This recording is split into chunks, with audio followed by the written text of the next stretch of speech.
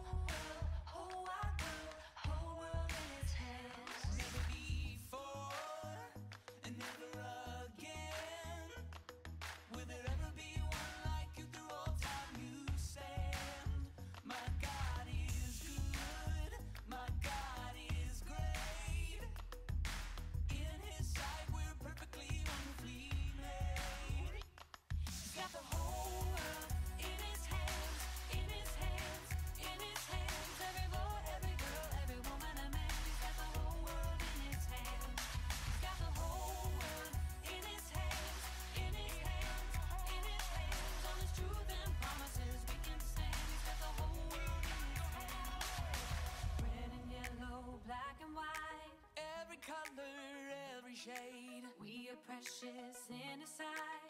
By his love we are made. Red and yellow, black and white. Every color, every shade. We are precious in his sight. By his love, we are made. Red and yellow, black and white. Every color, every shade. We are precious in his sight.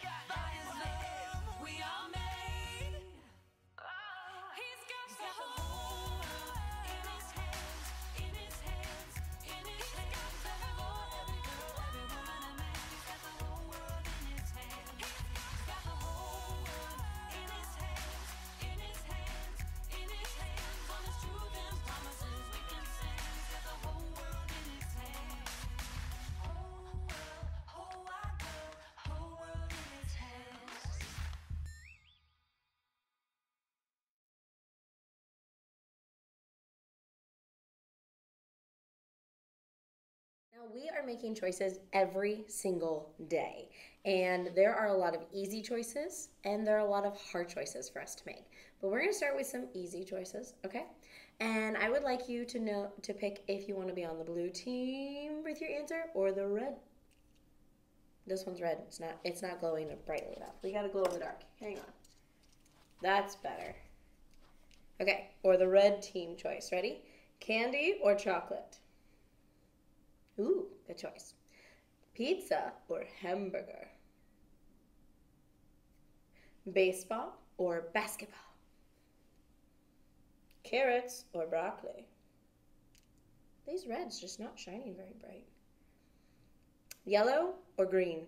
I'm a purple girl myself. That's why I picked red and blue so they could make purple in their colors together. Math or science?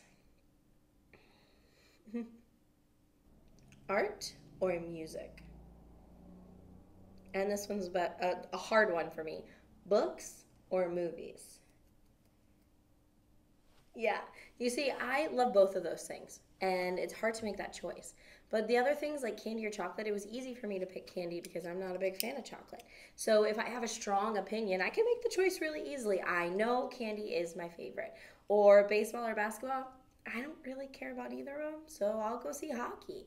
I bet if you're not a big carrot person, there's not much of a chance you're going to say that carrots are your choice in that, right? And it's also okay to change our minds about things that we like and we don't like. We grow and we change, but there might be a time when you're faced with a lot tougher choices than what we just talked about, right? Yellow, green, purple colors, they're easy to pick. Our favorite things in school, easy to pick. Our favorite things to eat, easy to pick. But our actions, our choices, when things are tough, how are we going to know what to choose? Guess what? Jesus shows us the way. So let's grab our Bible story and we're going to go see how Jesus makes his choice. Okay, it's time to turn on the spotlight of our Bible story. Each time I say scripture spotlight, we are going to shine this light. Do you want to play along at home? Okay, so Jesus is actually going to go before a guy who was like the judge of the city. So, a judge, if you've never seen in court before, if they want to get someone's attention, they have this little hammer called a gavel and they bang it on the ground. So you can pound your fist and say, Order, order, or Scripture Spotlight. Are you ready? Let's glow. We're starting in Mark chapter 15 and we're going to read simply verse 1 to start. Very early in the morning, the leading priest, the elders, and the teachers of the religious law, the entire high council, met to discuss their next steps. They bound Jesus, led him away, and took him to Pilate, the Roman governor. Um, whoa, already a lot is going on. So last time we were together, Jesus was having dinner with his disciples, his close friends. And when he told them that one of them was going to betray him, they all kind of looked around like, "What? Me? Jesus, me?" Well, because Jesus said it, we knew it was going to come true. And that very night, he was betrayed and arrested by one of his own disciples, Judas. Now, he was brought then to the court, all of these leaders, all of these people in charge, to determine whether he was innocent or guilty. And the one who had to make the final decision was someone named Pilate. Scripture spotlight. We're going to read verses 2 through 5 now. Pilate asked Jesus, Are you the king of the Jews? And Jesus replied, You have said it. Then the leading priests kept accusing him of many crimes. And Pilate asked him, Aren't you going to answer them? What about all these charges they're bringing against you? But Jesus said nothing, much to Pilate's surprise. Jesus hadn't broken any laws. He was completely innocent. But the religious leaders, they were angry and they were scared because he was changing things up and they were he was he was telling people that it was all about God instead of the religious leaders and they didn't like it. And they wanted him gone. They were threatened by his popularity. His teachings about God were opposite to what they wanted people to believe about themselves. They also thought that he was lying about being God's son. For that, especially, they didn't want Jesus arrested and, and put in jail. They wanted him to receive the worst punishment they could give. They wanted him dead. Scripture Spotlight. We're reading verses 6 through 11 now. Now it was the governor's custom each year during the Passover celebration to release one prisoner, anyone that the people requested.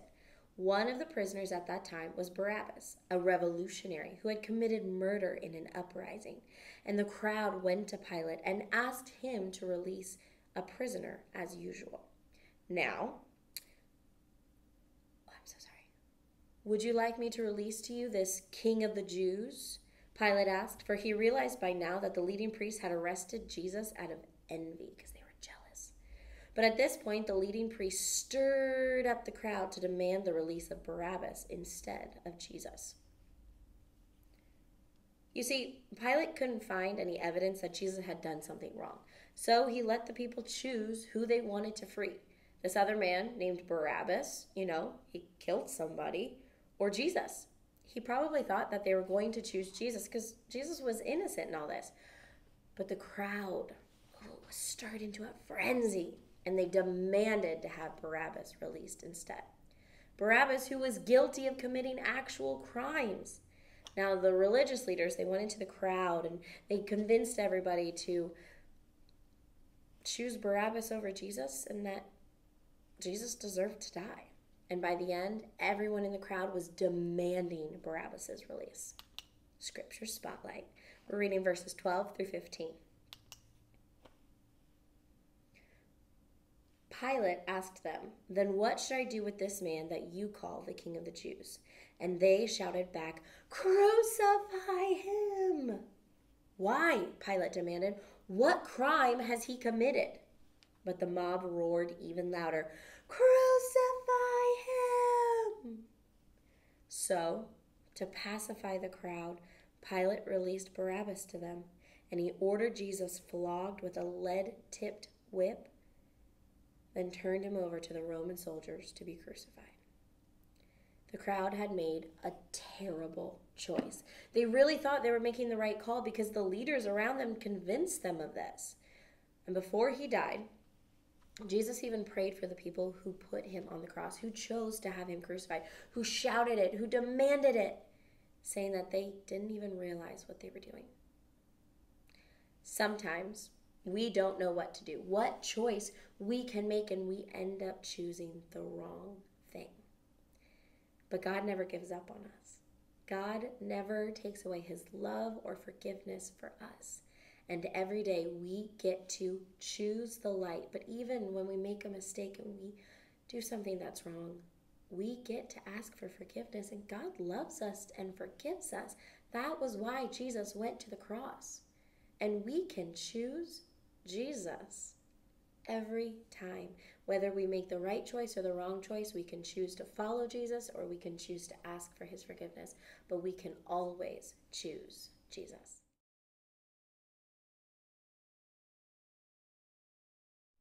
Have you ever felt alone before? Hi, it's me in the dark. I don't know if you can see me or not.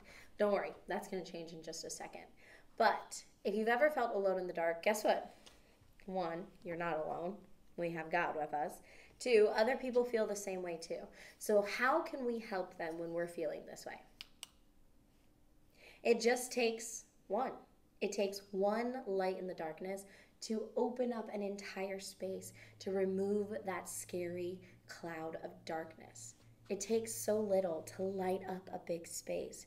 And it really only takes a few people doing the right thing, saying the right thing, that starts a pattern or trend and it influences and encourages other. Now we saw in our story today that the religious leaders used that to spark negativity, to convince people to hurt and crucify and kill Jesus, and to release Barabbas instead. But think about what they could have done if they had whispered the light instead. Think about what could have happened if instead of evil and darkness being spread, we took that and shined God's light instead. One little spark, one little flame can turn into a roaring blaze. Like starting the wave at a sporting event. Just a couple of people standing up, throwing their arms up, can start an entire stadium of thousands participating. Or if someone starts singing happy birthday, quickly others will join in. Today we saw that a small group of people could start a crowd doing something awful. Small things can start huge events. Think about how contagious love and kindness could be sharing God's light. It can move people to do things, it can change everything. So we can choose to be that small bit of light that shines brightly and gets spread throughout the darkness because we can choose Jesus.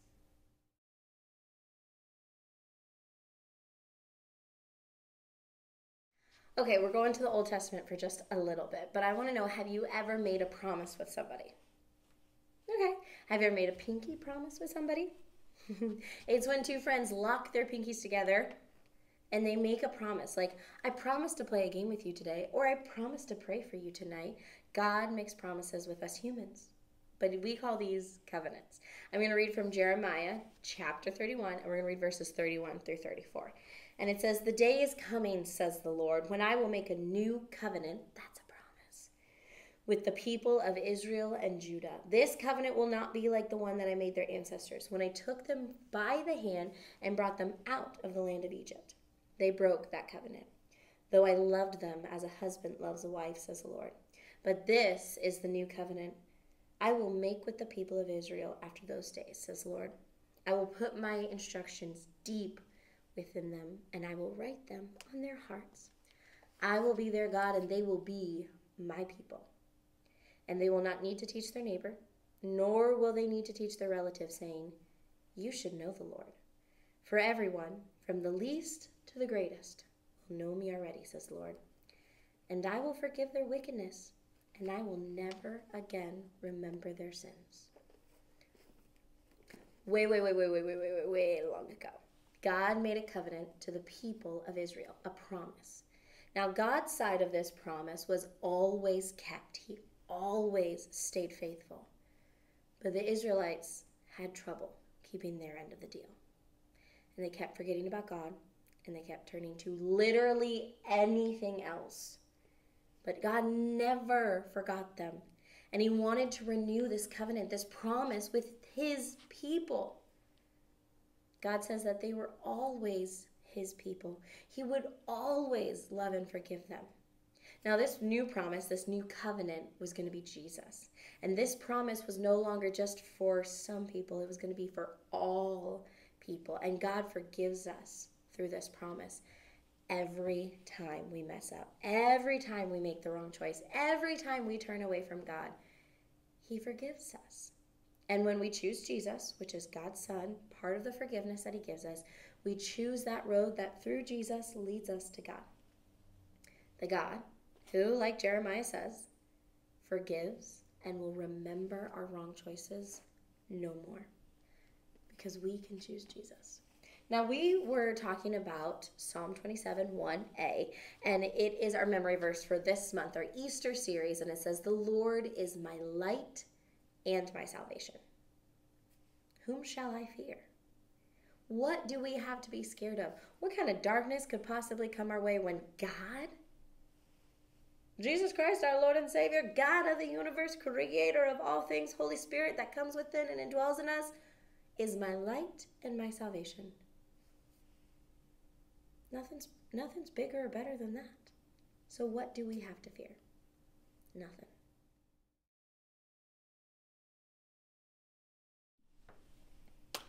So we are wrapping up as we get closer to Easter. I have some questions for you.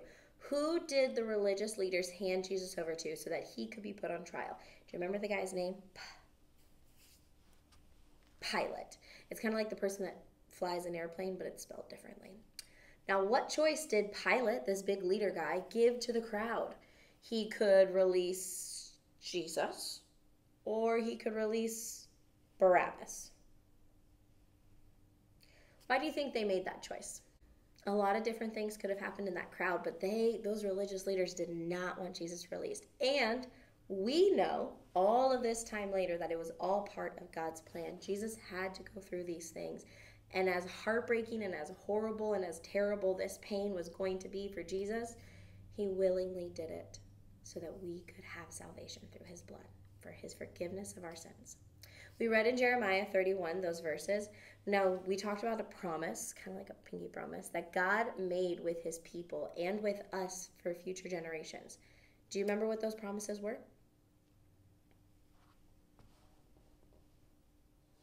Have you ever made a mistake? Have you made a wrong choice? Have you chosen the darkness sometimes instead? Yeah. What happened? Did the world end? Or did Jesus forgive you for it? Did people in your life, your moms, your dads, your aunts, your uncles, your brothers, your sisters, your friends, did they forgive you? Because they love you. Jesus has a love that is, can you imagine, even so much greater than the love of our closest people? And He forgives us when we ask for it.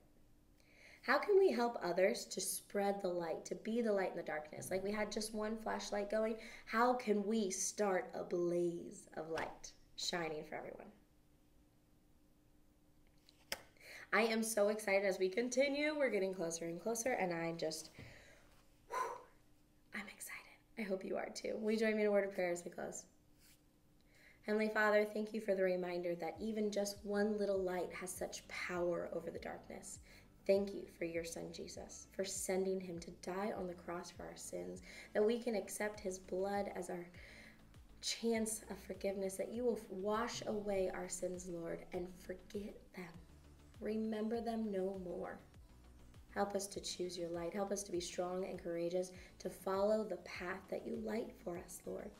Help us to choose Jesus in the darkness and in the good times, in the scary times, in the fun times, and every time, Lord, that Jesus is within us all the time. Lord, I thank you for these kids and their families. I ask that you strengthen them, build them up, protect them, Lord, and shine brightly through them like a city on a hilltop. And Lord, that we can be still and know that you are God. Lord, I pray for our church family. I pray for this facility, Lord. Use it. Use us to shine brightly in our community, Lord, that we can stand firm on your foundation, that you are our light and our salvation. What do we have to fear, Lord? Heavenly Father, I pray for our leadership. And as this Easter season comes in, as we welcome our community, as we welcome our visitors, as we welcome our families into this building, Lord, that your spirit is here. That you speak through us and move through us and shine brightly, Lord. Help us to turn our focus fully on you and be honoring and pleasing to you. In your holy and precious name, I pray. Amen. We're getting closer, and sadly, things have to get sadder before we celebrate the greatest day in history. So join us. If you can join us here in person, I'd love to see you. We have some wonderful ways to celebrate over the next couple of weeks, and I can't wait to see you, whether it's online, hi friends, or in person. I can't wait. I'll see you later. Bye bye.